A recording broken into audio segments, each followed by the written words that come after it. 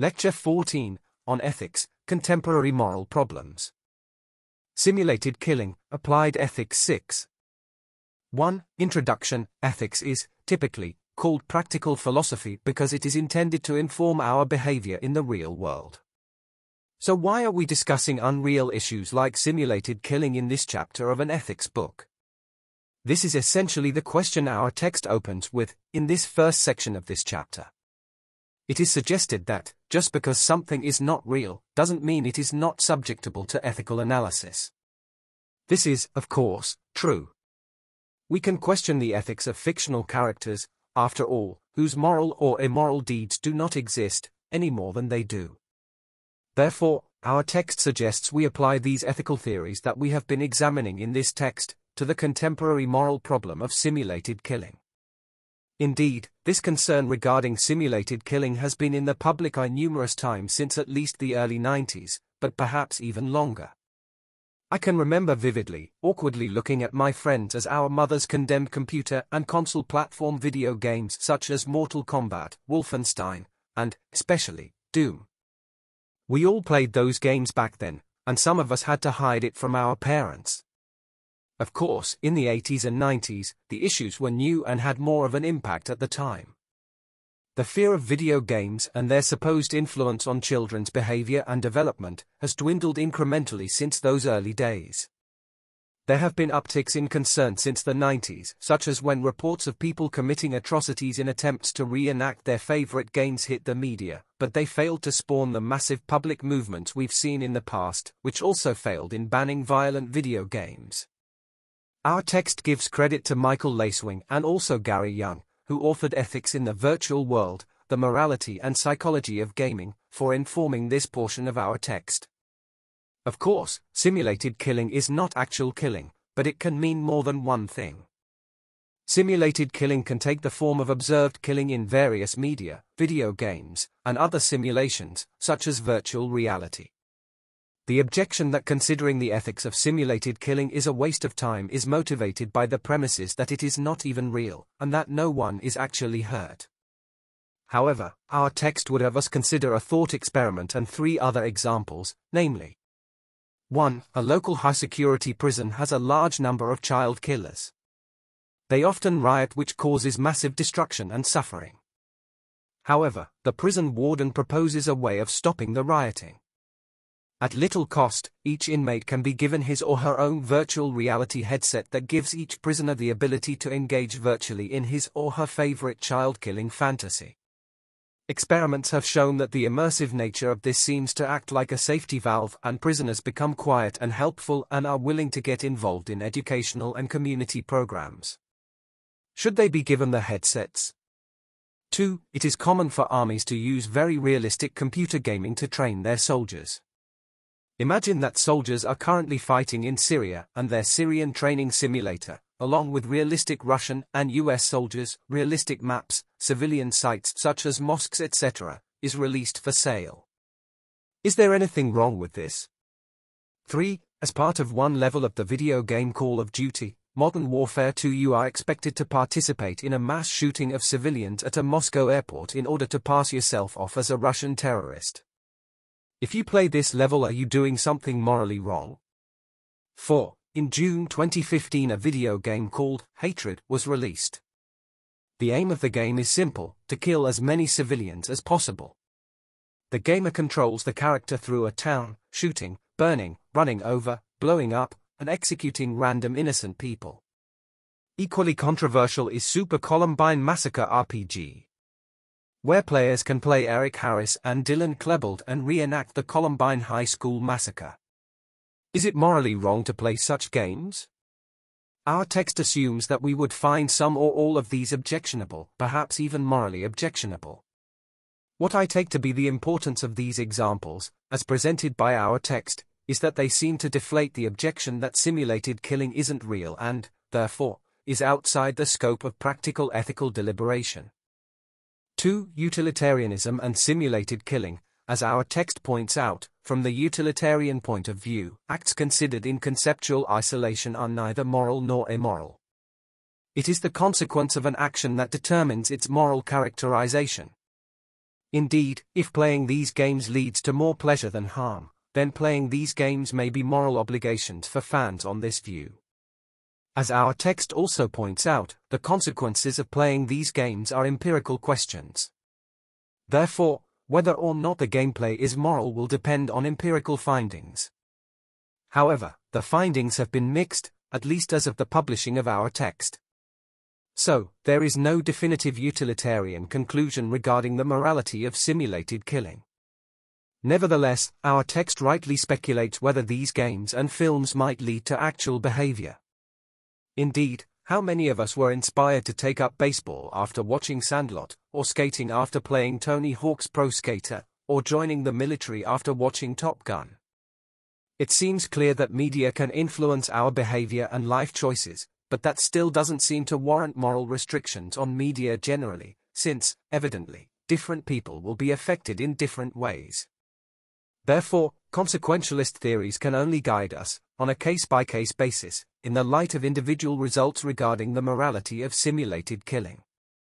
3. The Kantian and virtue ethics approach, a philosophically fun consequence of considering this issue is that it reveals the consequentialist moral force in typically deontological moral theories. For example, specifically in the case of Kantian ethics, we find that the answer to whether engaging in simulated killing is moral or immoral depends on the consequences of doing so. For example, recall that acts involving the mistreatment of animals, on the Kantian view, is only indirectly immoral. They are immoral since they increase the likelihood of degrading our moral dispositions to the extent that we may lose the required moral sensitivity to treat other properly moral agents, that is, humans, morally. So too, in the case of virtue ethics, does the moral question of engaging in simulated killing depend on the empirical results of doing so?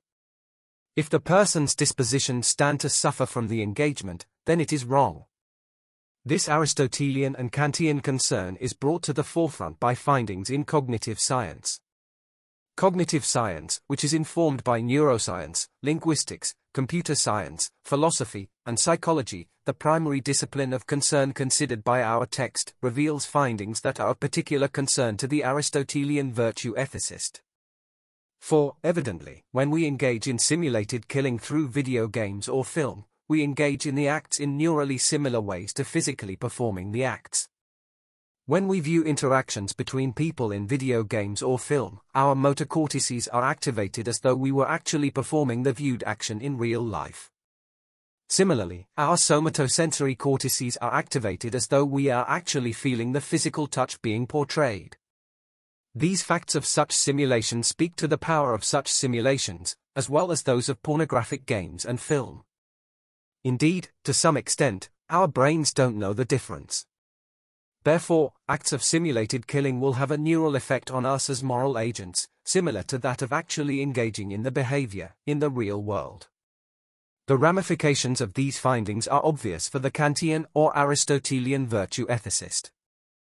For films and plays, our text suggests that playing a killer in a play or movie could affect the actor in a similar way to playing the killer in a video game.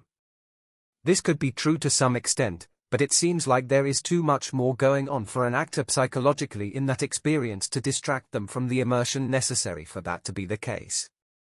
It seems likely that the audience would experience the immersion more fully than the actors. Though not considered in our text, it seems that killing in literature could be considered along with these other media. Depending on the vividness of our imaginations, the immersion necessary to affect us could possibly increase progressively with the type of media with which we expose ourselves to killing. For example, depending on the imagination of the reader, literature may be less immersive than a play, a play less so than a film, more or less so than a video game, and a video game less so than virtual reality. With rapid advancements in VR technology, it may become so lifelike there will be little difference between simulations and actual reality. Therefore, if the Kantian and Aristotelian concerns are legitimate, killing in virtual reality may be near the top of the list of entertainment to avoid. However, as this is an empirical question, the jury is still out as to whether any of these concerns are justified. 5. The paradox of tragedy, or, more correctly, the paradox of negative emotions. Our text introduces the paradox of tragedy by painting a mental picture of discovering a horrific crime scene and how quickly we would escape the situation out of fear, disgust, and anxiety. No one wants to experience such things and yet films and games depicting such things draw huge audiences. This is the paradox of tragedy, we don't want to experience terrible things, yet we want to experience simulations of them. One proposed explanation is that the negative emotions we experience in real-life situations are qualitatively different from those experienced in simulations. However, it could also be possible that they are only quantitatively different, that is, simulation fear isn't a different pseudo-emotion, but the same real-life emotion, but to a lesser degree. In either case, given the moral significance of the phenomenon, it has its place in ethical deliberations. 6. Summary Our text concludes simulated killing covers a number of different areas. It could involve playing the killer, or watching someone play the killer.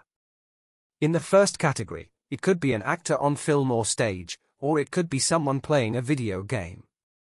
Initially, we might think that because it is simulated, this topic is outside ethics. But using utilitarianism, Kantian, and virtue ethical lenses, we have shown that this is not the case. For utilitarianism whether it is simulated or not is not important, the question is how much happiness each of these activities generates compared to doing something else.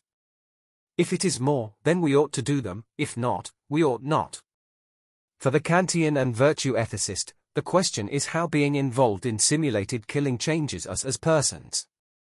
If it makes us less able to be moral agents, for example, less rational or virtuous, then we ought not to be involved in simulated killing. However, the main lesson from this chapter is this, issues surrounding simulated killing are going to be addressed via psychology. Which is thus far inconclusive. So, it seems the best we can say is that, yes simulated killing is a moral issue, but the decision of whether a particular activity is morally right or wrong will be advanced via experimentation. 7. Questions and tasks. Before next time, please answer the following questions.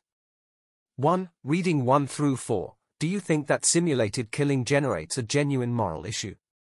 2. Imagine a case in the future where one can buy ultra-lifelike AI robots. These robots can be killed. They will bleed, they have been programmed to beg for mercy, to whimper, etc. Once they have been killed, they can be reset and killed again. Should we treat this case differently? What happens if the robots are so lifelike that people no longer know the difference between them and real humans? Does that change things? 3. Governments have censored video games, such as Call of Duty and Hatred. Are they right to do so? That is, even if we find them immoral, how might this relate to laws governing simulated killing?